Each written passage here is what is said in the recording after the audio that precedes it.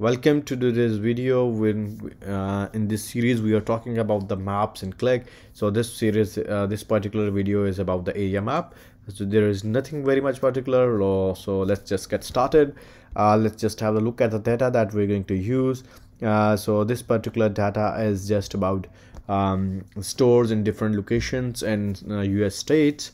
Uh, so let's just get for wait for the data. So here we have the data uh, I have the stores and the states and then some state hierarchy. So if you see there is nothing anything about the area here uh, what we're going to use we're going to use Qlik uh, map uh, provider um, entity location uh, service to get you know uh, the value name of the state so the area of the state from here. So i'm just gonna drag drag it and add it as an area layer this particular state. So it's automatically recognize you know this is these are the us states and it has drawn that except this one. Um, it is outside um, so this is georgia. So it has recognized everything else as state but this one has been recognized as a country. Okay because there's definitely there's country of georgia and then there's a state georgia. Okay so what we can do is let's have a look at the properties. Um, some basic one in here and let's resolve this location issue from this one. So we can we, you can use the location service to further clarify if there is any uh, you know um, doubts or ambiguities in these service uh, location definitions. So from scope from auto if i go to customer. So i have the option to tell that which you know country this thing belongs to. Normally in a country values are unique. So this is why this we can use that one and uh, we can also put you know in my case i do not have the country field but if your data is from the multiple countries and these things that happening so you can put the country field in here and it can use that and you see there is an example what kind of fields can be used. Another option can is that instead of using country here i can tell that like okay so this one is administrative level one. So it's not the country. So it's the one level below. Administrative level one means state or province. It can vary in each uh, from country to country based on how they have set up. And then if i see there are options like level 2 level 3 level 4 so it varies each country. Maybe for one country it's district then it we have the counties uh, or districts um, zip code structure. So they vary for each country to country how they have been set up. Okay? So we can do that. Okay we're gonna i'm gonna stick with the administrative level one and then we have the coloring options. In the coloring options we have the single color color by dimension which is very simple and then we have the color by year so i'm gonna go color by year and the year i'm gonna select as the count of the stores. And i'm i can change the label here. Number of stores so then this label is going to show me on the mouse over here. Okay. Uh, I can change the number format. I'm gonna go for now with that. And I can change the opacity of this layer. And I have the option to change the range from this legends from 10 to 10 uh, so I can put in 250 so that after anything after 250 should be you know dark colored or I can go with the auto one. For now I'm going to go with auto one and I'm going to increase the opacity. Okay. Then I have the outline option for this boundary. So I'm gonna go with the dark color to make it you know it looks like more readable okay. Then we have the sorting option. So sorting option is uh, in this case there is no overlap but in case there are overlaps so this uh, sorting option helps you to see all the data um, even the layers which have been hidden behind the overlapping layer. Uh, by default uh, normally what happens is anything which gets sorted first goes behind and uh, so normally if you sort state it should be by descending order of anything uh, the area uh, most likely uh, it should be in descending order so that you know highest one get plotted first and the lowest one get on top and so that you can see everything it nothing get hidden okay? Uh, then we have the options in here. So in general options we have uh, uh, legend options. So I'm, I'm gonna stick with this this is the legend option. The control um, then we have the show tooltip so mouse over it should show it or not. And then we have the options for the maximum object. By default 1000 so in our case there are 48 states so we are good. But in case you know we have more than thousand areas layer for some reasons points um, in your customized one. So to make sure that you know you change this number uh, because if you don't like if I put less than what I have something will be missed out and you might not know that. Okay so it's important to uh, notice this one and resolve this one. And then we have the show labels. So show label option is like you know it shows labels in here and we can change those labels. Let's say I'm gonna go for uh, actually my year one the year that we have just used. So I'm gonna use count of store ID so it's number of stores. I'm gonna count here okay so instead of so I can see number of stores for each um, region here and I can have the options to change the labels etc I'm gonna go uh, with the default one for now and let's just change again the labels coloring make it a little darker.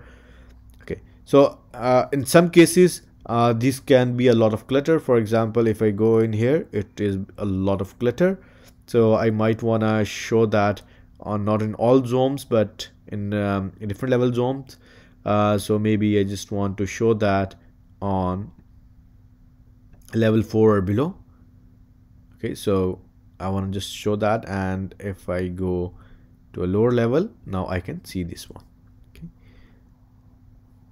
Okay then I have I can disable the selection just by clicking. We can normally select but we can disable this one but I'm not going to do that. I'm gonna go for now then we have the layer options. In layer options we can just control show it or not. So if we put that you know use this uh, uncheck this one we can go uh, we can uh, turn that on from the exploration menu. We can turn this one on. Okay and we have the option for label turning and turning on and off. So this one these two options we have in here as well. So you don't need to worry um, if you know at times this one is required uh, for some reason when we do not want it to be default layer okay? Uh, then we have the options uh, for excluding from auto zoom uh, or like clicking it does not go for auto zoom so we can do that. And we also have the option to show that on a particular zoom level okay? So let's just show that at zoom level 4 so if that is our map is less than zoom level 4 this layer would not show up. So we can club it with now at this point i'm going to add another layer and i'm going to club that with this particular layer uh, that particular layer. So if i go to this level i do not see that okay? So what i'm going to do is i'm going to add another layer so in this one, I'm going to use another functionality of Qlik. We can add KML files. KML file is a standard map format used by almost all the GIS tools like Google Earth or Esri, etc. So these are in, this is uh, information exchange kind of file. You can have some file built in there and uh, uh, you know bring it in Qlik using KML file. So KML file looks like you know this XML file. We have all these points area. It's like a bit complicated, uh, but we can just simply you add that in Qlik just by uh, just like normal uh, excel file or any excel data with that put in and it automatically uh, it has some all the tags etc so it automatically link with our existing data. So in our in this case uh, let's just see that uh, what kind of a data we have in here. Okay and we have the sales region and we see there is a name for the region and then we have uh, states etc uh, this name is actually linked with this region so I'm gonna just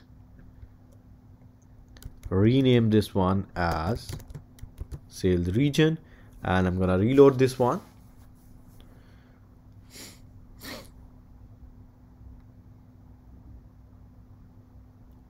okay so we have got these three regions and these are customized one based on our xml uh, script. Okay so what i'm gonna do is i'm gonna add this one as here as a new uh, area layer. Okay but nothing happened because uh, it hasn't recognized it as a uh, location field so i'm going to change the location to sales dot region. Okay so here we have these three regions and let's change color by dimension.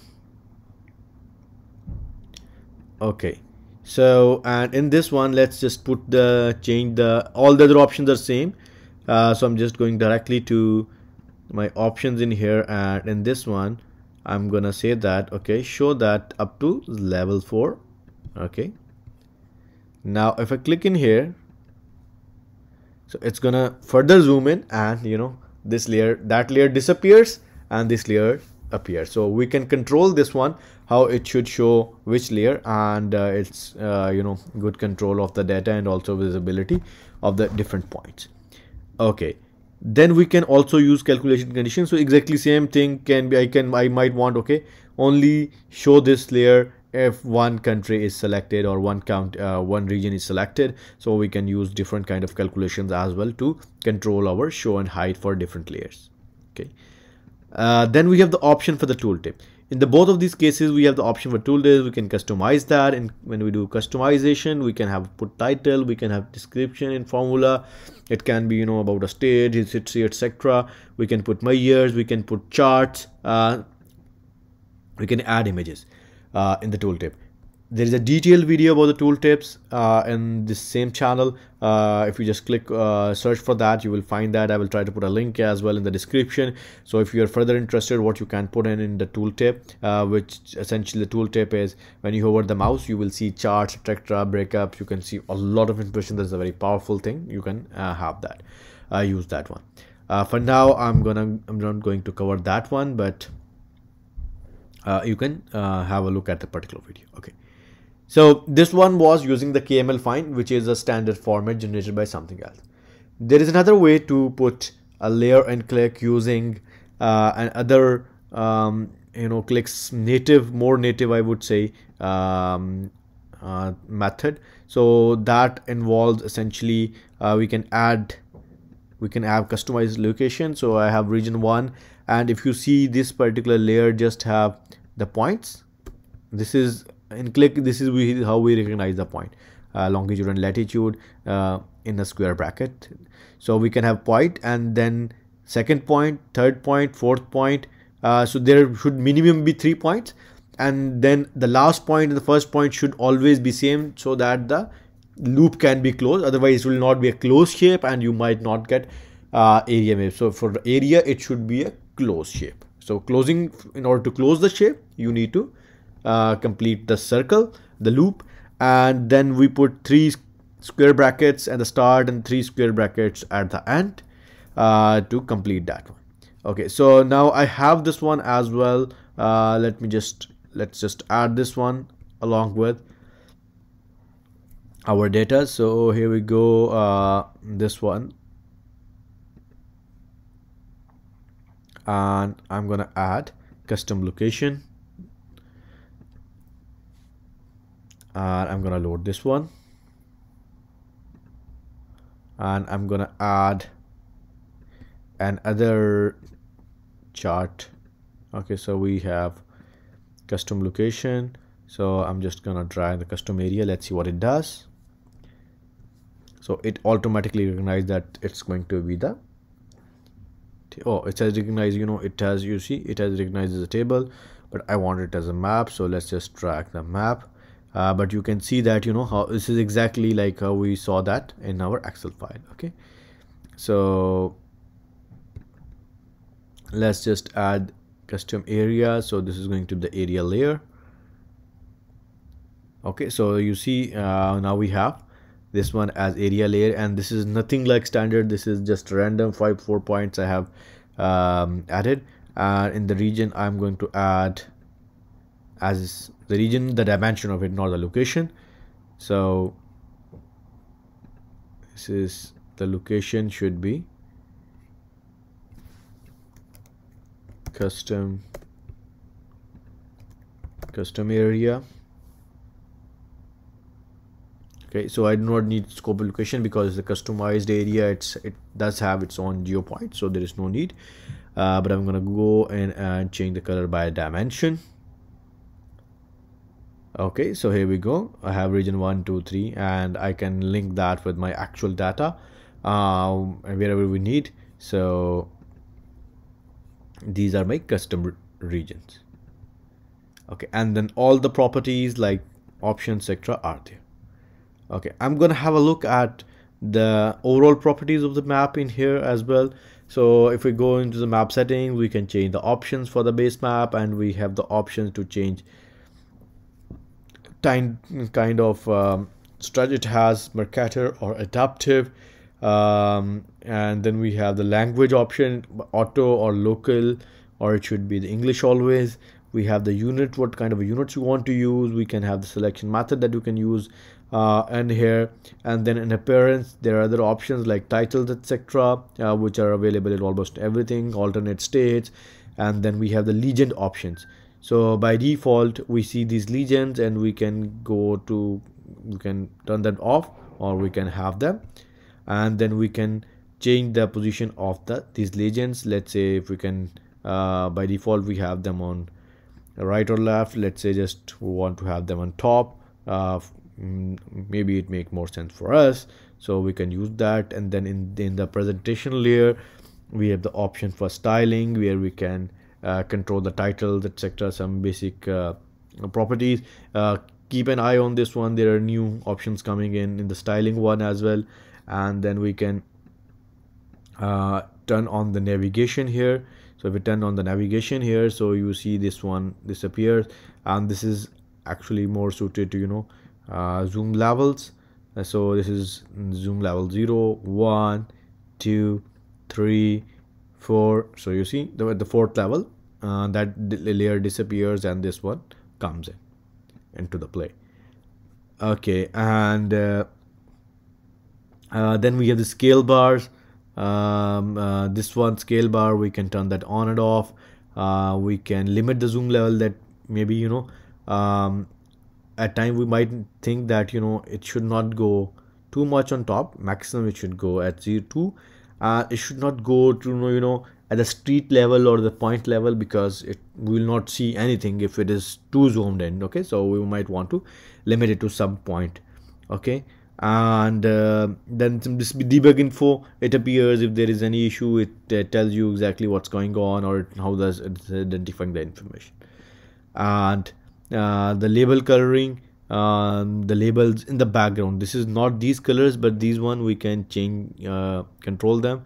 So we might want them to be dark or light. So these coloring and the labels we can control that. So you see it has become a little darker here. Okay and if I go for the light one I think this is not impacting but normally it would. What it would do is this color the label coloring is we're talking about these labels of the different cities etc okay. So that's it for our video. Uh, do let me know how you like that and uh, keep an eye on the next ones as well. Thank you very much